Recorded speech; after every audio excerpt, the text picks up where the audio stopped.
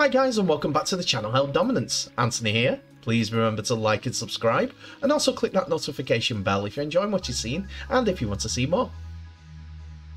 Coming up, Corey Norman comes out of retirement for Super League, an update on Qareqare's situation at Castleford, and why you all should wish this man all the best on Friday.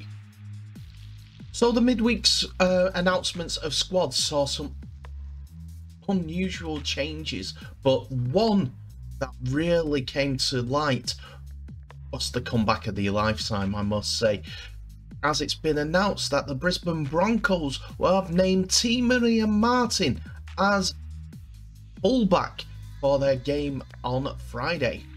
This comes three years after being diagnosed with a brain bleed on his brain and goes into the game against the Canterbury Bulldogs on Friday night, the 22nd of April 2022.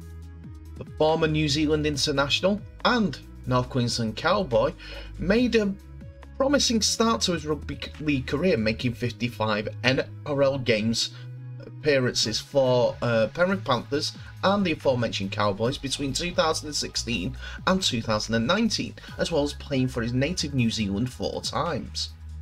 He's now 26 years old and will make a stunning comeback this weekend after passing a final medical clearance earlier in the year. Speaking about the uh, return, he mentioned on the Broncos website, it's been a long two and a half years to get my career back on track. When my scans came back, giving me the all clear, I wanted to come back. You don't realise how much you miss the game and the boys until you're out of the game for two to three years. I've had a lot of scans and saw a lot of specialists.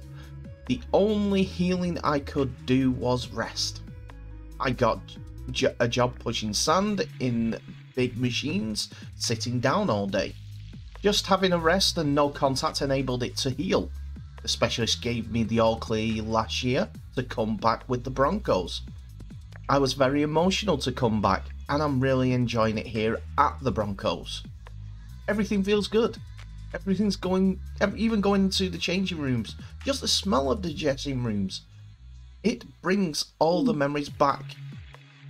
It's just a long time out. It was 2019 where this was all began, and Martin started the season playing 5'8 before moving to fullback in round 3. But on May the 1st, the Cowboys announced that Martin would be sidelined indefinitely with a small bleed on his brain. He returned to training on July the 9th, uh, but missed the rest of the season.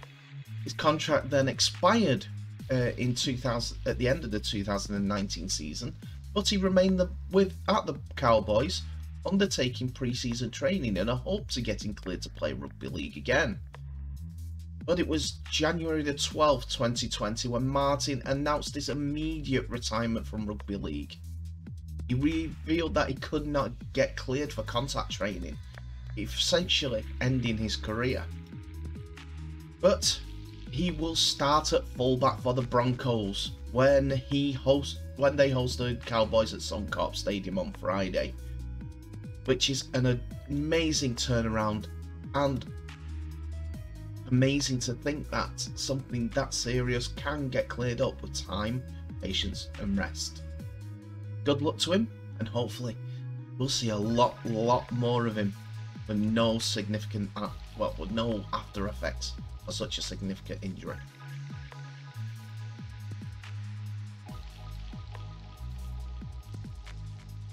In a saga involving a young Castleford player that even I was reporting on about the tapping up issue and also the interest from Leeds Rhinos, um, which even I mentioned in yesterday's video, it's announced through social media that Castleford Tigers are thrilled to confirm that Jason Qareqare has signed a two-year contract extension with the club, keeping him at Wheldon Road until the end of the 2024 season. Fleet-footed winger, a product of the Castleford's academy system, um, the Fijian-born outside back has been a Tiger since the age of 15 years old after joining the scholarship program from local community club Kippax Welfare. Jason continued his development with the academy system before making his senior debut against Hull FC in June. In one of the Betfred's Super League's most memorable uh, debuts, Qareqare burst onto the scene with a remarkable try for his first touch of the ball just 44 seconds into his maiden senior game. The winger fullback has notched on a further three senior appearances now, but he has also featured in the Yorkshire Academy's Origin victory over Lancashire, scoring again early in that fixture too. Widely considered one of the most promising prospects in the sport, Qareqare is now committed to the next two years with the Tigers, a club where he feels very much so at home. I've been at CAS with the Scholarship Academy and made my way into the first team. It's been my home ever since I was a young boy. It is just been my place that I've always wanted to be. And being in the first team is a great feeling. I think the environment that has been built here, there are some firm foundations that Castle believe in, and we train with them as well. Everyone, the players, and the coaching staff are all welcoming ever since I've come with the scholarship. Everything here is all round great. Jason is in his final academic year with Queen uh, Ethelburga Collegiate, who have been nothing but supportive of his endeavours to becoming a Super League player. Hats off to them. I think they have really helped me with my academics, with me being not in school as often. Everyone there, the teachers, the coaching staff, they have all been supportive and I've enjoyed every minute I've been at school. I could not praise them more for what they have done for me. Jason's unforgettable debut saw him play on the wing, a position he has played in this year with our reserve side, their Cassie's reserve side at times, such as against Huddersfield Giants reserves, where he scored a hat trick inside 20 minutes. But the 18 year old has also plied his trade at fullback and is learning from an England international. I'm happy to play in both positions. Any game time is game time. And with me playing at fullback too, I can try and increase my expertise on the field. Niall Evalds is really helping me during pre-season getting to grips with the first team pace and the skill.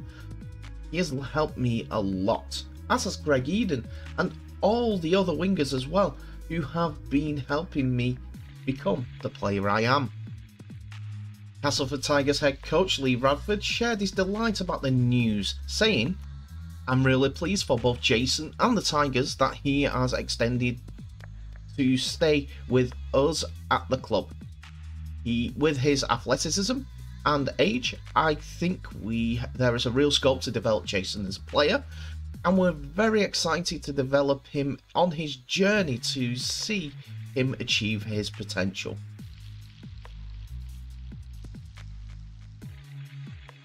Say Toulouse Olympique have um, been indifferent to the beginning of their Super League career um, many, many lows, close defeats, and one very memorable high with beating the grand finalists, well, grand final winners, St. Helens, um, midway through this opening stanza of the season. They have been looking to get their squad stronger so that they can compete a little more at the top level. And that has been the case with the signing that was buried between the two Smiths coaching decisions of yesterday. Toulouse have gone on and signed ex-NRL halfback Corey Norman on a deal until the end of 2022. Norman, who's 31, made 228 NRL appearances for Brisbane Broncos, Parramatta Eels, and St George Illawarra Dragons prior to announcing his retirement from the sport in December last year. However, in a dramatic U-turn, uh, he will now link up with the Super League newcomers, who currently sit bottom of the league with just one win from their opening nine matches. Norman had previously told Fox Sports in Australia he had no desire to continue to play rugby league at the highest level, but he changed his mind with, has been bolstered by Sylvain Houles's creative options as he looks this year Toulouse to Super League uh, survival. A state of origin representative for Queensland, the Australian admitted he's looking forward to testing himself in the south of France. I can't wait to join the club and meet the whole team, coaches and supporters, Norman said. This represents a good opportunity and at the same time a challenge for me. I also look forward to acquiring the learning that is this new beginning will bring me. Olympic president Bernard Sarrazin um, said while hailing the capture of Norman, Corey's arrival is in the squad is excellent news for the club at this stage of the season. He has the ideal profile since he can occupy two positions that we're looking for halfback and fullback. His extensive high level experience, his talent, and his leadership will be a major asset for the team. I am happy that Corey has agreed to trust us, and I can't wait to see him in the colours of the TO. Norman was a superstar in the making in his fledgling rugby league career when starting his NRL um, season in 2010, making his debut in round one.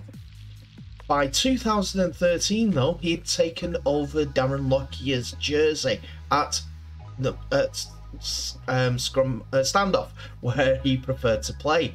But with the signing of um, can't remember, Steve Prince um, from Gold Coast Titans. He was forced to move back to the initial position where he played for the Broncos, and that was at fullback, which wasn't his preferred position. Despite his on the field qualities, Norman also found himself in the headlines for the wrong reason over the course of his career. Uh, after a lucrative move to Parramatta Eels for three years, he was handed a $20,000 breach notice by the Eels during his final year at the club in 2018 after being spotted in, on social media drinking while on the club's injured list, going against the, their rules. In 2019, on a social media led shot, uh, led to his new club, St George Illawarra Dragons, also uh, informing the NRL Integrity Unit over historic actions from Norman, with the Dragons confirming that they would make no further comments at the time. And last season, his final campaign in the NRL, Norman was fined $20,000 and handed a breach notice after being involved in a street brawl with former NRL player and ex Leeds Rhinos hooker James Segeyaro before receiving a $50,000 fine and subsequently ma- one match ban later in the season for breaching the competition's COVID 19 biosecurity programs, uh, protocol for attending a party with 12 of his other Dragons teammates at then teammates Paul Vaughan's house in New South Wales. There are two other very high profile uh, instances where we put in front of the NRL integrity unit that we won't go too far into as they're readily available anywhere because we want to look forward to one of an undoubted talented full uh, halfback coming to the competition to help uh, Toulouse hopefully gain the results that they need to stay in Super League. We wish him luck, and we wish Toulouse all the best.